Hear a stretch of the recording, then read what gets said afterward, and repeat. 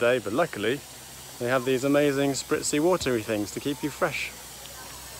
Ah, fresh.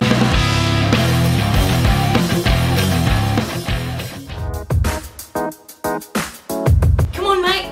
Come on.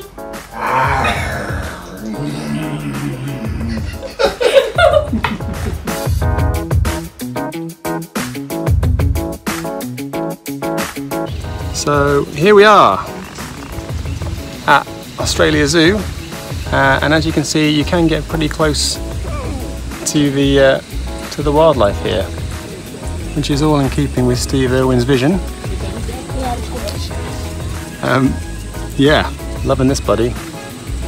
Do you know any good jokes?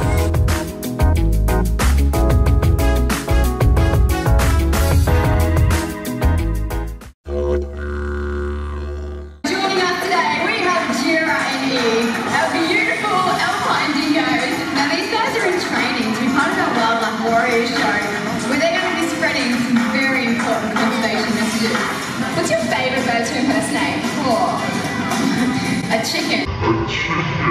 These marbles fly over your heads, albatross. Uh, Taylor, what are you, what are you doing? What's Carl? Uh, Jeremy, look, I, I swear he was in there before show. I couldn't even let myself. I don't know how we could have gotten out. He was in there, I swear. Oh, Taylor, what about through, what about through this hole? Juliet has beautiful yellow eyes, and JJ has black eyes, just like Douglas. Now, not only has she been trained to fly from point to point, but she's also been trained to fly from person to person. He knows what goes on here, what the crocs do in the crocodile, and he's the biggest that we've got. So let's see what happens.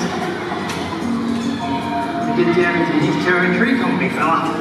There we go. And you saw him coming out nice and slow. Then he just oh big hit on.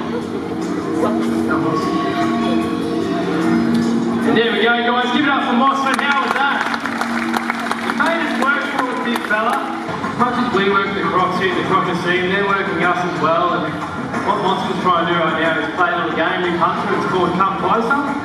You can play it. All the crocs love playing the game video. You usually only get to play it once. There we go, guys. Give it up for him. How was that? See if I can get one more out of him. That was a bit of a lunge at me then. A little bit reluctant. There we go. Big bend in that tail. Watch that tail. There we go again, guys. Give it up for him again. Oh, you were being funny today. Oh. Come on, husband. What you're seeing right now is typical for large male crocs. That's all territorial signs right now. He's puffing himself out. He doesn't want to come away from the water's edge. He still wants to be in that water. While his tail's in there, it's still, still put on a really big strike.